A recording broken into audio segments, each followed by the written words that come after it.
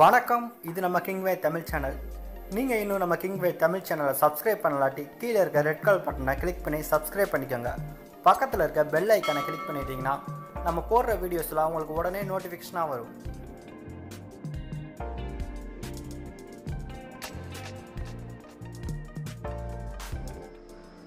நடிகர் சூர்யா.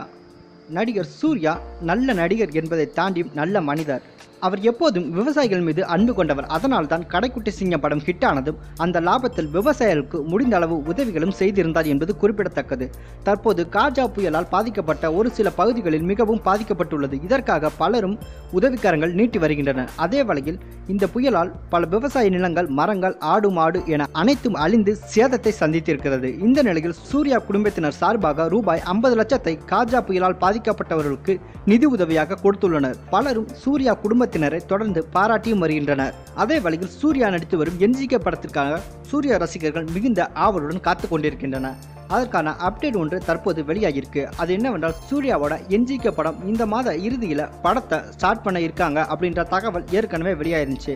அது மட்டும் இல்லாமல் தயாரிப்பாளர் தரப்புலேருந்து தற்போது ஒரு விளக்கம் கொடுத்துருக்காங்க. அது என்னன்னா இந்த வாரத்தில் என்ஜிகே படத்தோட ஏதாவது ஒரு அப்டேட் கண்டிப்பாக வெளியிடுறோம் அப்படின்ற மாதிரி சொல்லியிருக்காங்க. எந்த அப்டேட்டாக இருந்தால் என்ன? தொடர்ந்து பல நாட்களாக சூர்யா ரசிகர்கள் காத்துக்கிட்டு இருந்ததாங்க.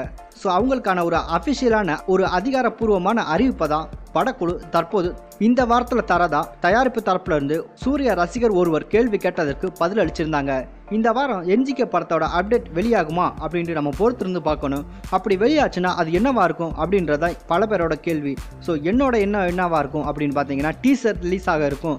டீசருக்கான டேட்டை அஃபிஷியலாக அலௌன்ஸ் பண்ணுவாங்க அப்படின்னு தான் நான் நினைக்கிறேன்.